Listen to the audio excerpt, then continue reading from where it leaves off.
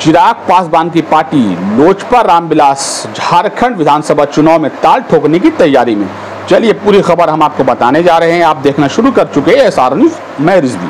आपको बता दें कि रांची में हुई पार्टी के राष्ट्रीय कार्यकारिणी की बैठक में घोषणा की गई थी कि वो झारखंड से चुनाव लड़ेंगे। लेकिन एनडीए में किस घटक दलों को कितनी सीट मिलेगी, इस बारे में घोषणा नहीं हुई है। लेकिन गुरुवार को हरियाणा के मुख्यमंत्री के शपथ ग्रहण समारोह भाग लेने के लिए जाने के क्रम में विशेष विमान में केंद्रीय मंत्री और लोजपा रामविलास पासवान के राष्ट्रीय अध्यक्ष चिराग पासवान और असम के मुख्यमंत्री सह झारखंड भाजपा के चुनाव प्रभारी हेमंत बिस्व शर्मा के बीच चर्चा हुई। वहीं सूत्रों से मिली जानकारी के मुताबिक हेमंत बिस्वा शर्मा और चिराग पासवान के बीच झारखंड में चुनाव लड़ने पर सहमति बन गई है। लेकिन लोजपा की कितनी सीटें मिलेगी, इस बारे में अभी तक संशय है।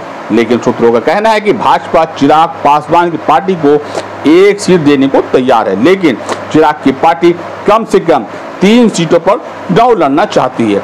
अब आगे देखने वाली बात ये होगी, क्या चिराग पासवान झारखंड में एनडीए के साथ चुनाव लड़ेंगे या अकेले झारखंड में चुनाव लड़ने की तैयारी कर रहे हैं? इस तरह के तमाम ताज़ा खबरों को देखने के लिए चैनल को सब्सक्राइब करें, लाइक करें, शेयर करें। धन्यवाद।